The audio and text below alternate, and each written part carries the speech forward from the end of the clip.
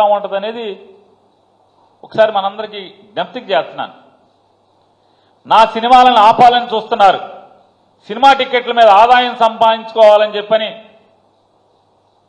ఎక్కడ చూడలేదు నేను.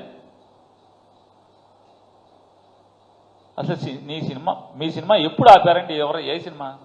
ఏ సినిమా ఆగింది? ఏ సినిమా మీరు అమ్ముకోలేదు బ్లాక్లో? ఏ సినిమా పలానా సినిమా ఆగిందని చెప్పండి. మీ ఇష్టం వచ్చిన సినిమా. రెండు వేల పంతొమ్మిది జగన్మోహన్ రెడ్డి గారు ముఖ్యమంత్రి అయిన దగ్గర నుంచి మీకు ఎన్ని ఏం సినిమాలు వచ్చినాయి ఎన్ని సినిమాలు వచ్చినాయి? ఎన్ని సినిమాలు వచ్చినాయండి? రెండా మూడా?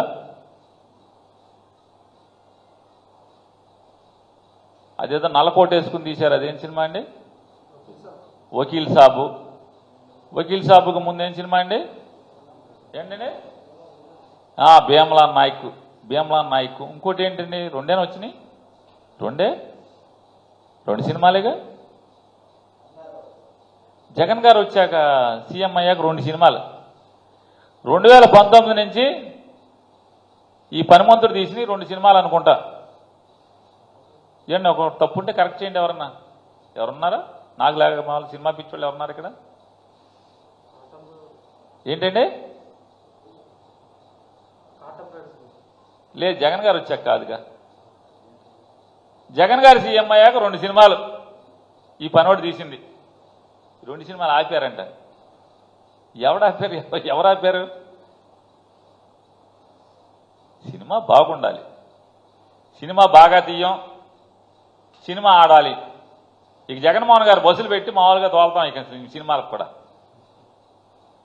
ఏంటి అసలు ఏం మాటలు? సినిమా ఆపటం ఏంటి? సినిమా టికెట్ల మీద ఆదాయం. పవన్ కళ్యాణ్ బీజేపీ టీడీపీ ఈ ముగ్గురు ప్రభుత్వం ఉన్నప్పుడు పవన్ కళ్యాణ్ బీజేపీ టీడీపీ ఈ ముగ్గురు ప్రభుత్వం నడిపినప్పుడు సినిమా టికెట్ల మీద లేదా ఆదాయం? మీ మీ ప్రభుత్వం నడిచింది కదా పవన్ కళ్యాణ్ గారు? సినిమా టికెట్ల మీద అప్పుడు జిఎస్టీ లేదా? జిఎస్టీ ఉందిగా? ఎంటర్టైన్మెంట్ ట్యాక్స్ ఉందిగా? ఉంది కదా? కమర్షియల్ ట్యాక్స్ జిఎస్టీ వచ్చే అంత జీఎస్టీ వచ్చాక జిఎస్టీ జిఎస్టీ వచ్చే ముందు ఎంటర్టైన్మెంట్ ట్యాక్స్ కమర్షియల్ ట్యాక్స్ రెండు ఉన్నాయిగా. ఏ మనం మరి అప్పుడు అదేంటిది అది? ఏం బుద్ధి పవన్ కళ్యాణ్ గారు? మీరు చంద్రబాబు నాయుడు బీజేపీ కలిసి ప్రభుత్వం నడిపినప్పుడు ఎంటర్టైన్మెంట్ ట్యాక్స్ ఉంటుంది కమర్షియల్ ట్యాక్స్ ఉంటుంది సినిమా టికెట్ల మీద జిఎస్టీ ఉంటుంది. మీరు ముగ్గురు ప్రభుత్వం అడిగితే. జగన్మోహన్ రెడ్డి గారు వచ్చినప్పుడు మాత్రం జిఎస్టీ టికెట్ మీద జిఎస్టీ ఏంటి? ఇది రెండు నాలుకల ధోరణిది. ఇటువంటి తప్పుడు మాటలు మాట్లాడటం. సానుభూతి కోసం దిగజారి మాట్లాడటం. ఆయన చెప్తాడు. అసెంబ్లీలోకి అడుగు పెట్టాల్సిందే. పెడతాను. దానికోసం ఎన్ని వ్యూహాలైనా పన్నుతాను. ముఖ్యమంత్రి పదవి ఇస్తే సంతోషంగా స్వీకరిస్తాను ఏంటి ఏమైనా దానం ఏంటి? ఏమైనా కందుల దానం నువ్వుల దానం ఏంటి? ఇది తీసుకుంటాకి. మా గోదానం భూదానం అంటారు కదా. అట్లా ముఖ్యమంత్రి ఏమైనా దానం చేస్తాడా? ఆ? ఏం దానం చేస్తారు ఈవేళ?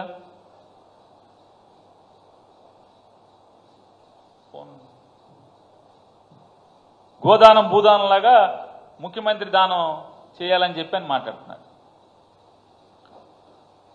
ఈయన రకరకాల ఒక్కో మీటింగ్ ఒక్కొక్కళ్ళని తెస్తాడు కదా. మొన్న ఇప్పుడు నిన్నేమో ఎవరో తెచ్చాడు. ఈయన అప్పుడప్పుడు చాలా మాటలు మాట్లాడుతూ ఉంటాడు. ఇవాళ పెద్దలు శ్రీశ్రీ గారి వర్ధంతి. శ్రీశ్రీ గారి వర్ధంతి సందర్భంగా ఆయన మన్ననం చేసుకుంటూ పవన్ కళ్యాణ్ గారు కూడా ఎప్పుడు చాలాసార్లు అప్పుడప్పుడు మీటింగులకి ఒక్కొక్క మీటింగ్కి ఒక కవిని ఒక ప్రజానాయకుడిని ఒక అతివా అతివాద నాయకుడిని రకరకాలుగా వాడుకుంటూ ఉంటాడు పేర్లు. శ్రీశ్రీ గారు ఏమన్నాడు?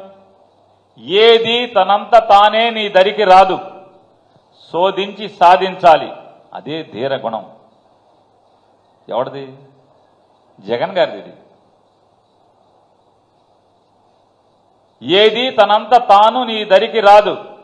తానే నీ దరికి రాదు. శోధించి సాధించాలి అదే ధీరగుణం. మనమేమో అడుక్కుంటున్నాం. ఎవడన్నా దానం చేస్తాడేమో అని చెప్పని.